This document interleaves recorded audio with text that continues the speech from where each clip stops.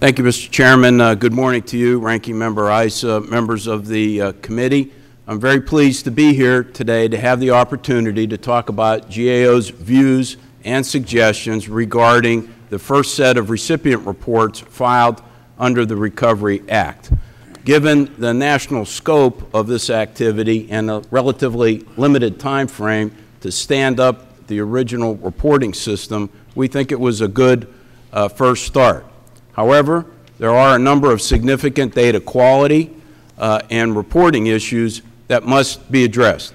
Uh, based on our initial analysis, for example, of the uh, database that was released on October 30th, uh, we found that there were some uh, erroneous or questionable uh, information in the database that merits additional scrutiny. For example, we found about 4,000 reports that had no money expended, but yet claimed over 50,000 FTEs that had been reported.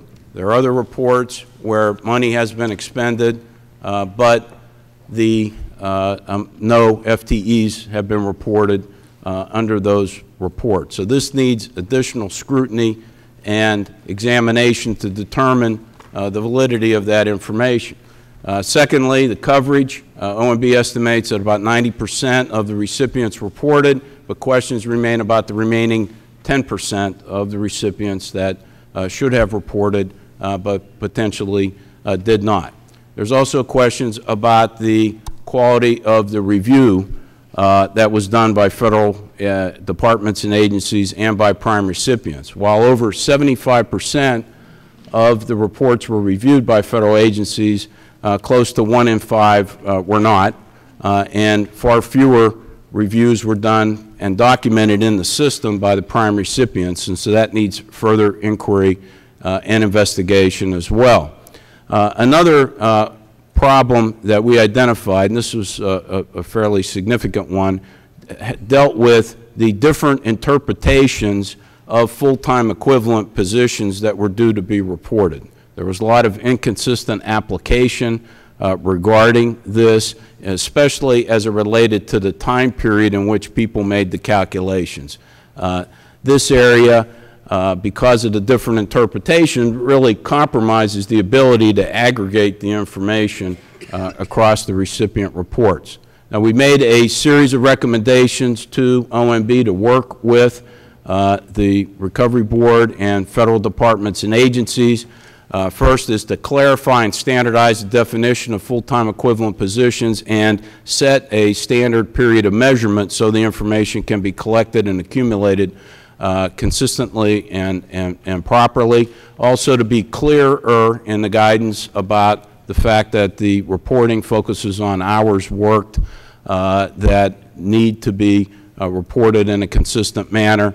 We also believe that given the issues that we and others have identified, that OMB should work with the Federal agency establishment and with the prime recipients to review lessons learned under this first reporting uh, exercise and reevaluate their quality assurance uh, and reporting approaches uh, to make necessary modifications to ensure that these data quality and reporting issues are addressed successfully. Because this is a cumulative reporting approach, uh, and GAO is required to review each of the quarterly reports that are filed by the Recipients Acts we will be following up uh, on this, conducting additional analysis, and making uh, further reports to this committee and to the Congress regarding the extent to which these data quality and reporting issues are addressed. I think it's important to address these issues both for the current set of recipients that are filing reports, but also there will be new recipients that were not file, did not have to file reports now as the recovery money gets spent over fiscal year 2010 and 2011, there will be many more recipients uh, filing, and those areas need to be addressed as well to prevent future problems from emerging in this area. So I thank you very much, Mr. Chairman, for the opportunity to summarize our findings. I'd be happy to respond to questions at the appropriate point in time. Thank you very much, Mr.